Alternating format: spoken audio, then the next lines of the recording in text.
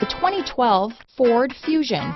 You can have both impressive power and great economy in a Fusion. This vehicle has less than 50,000 miles. Here are some of this vehicle's great options.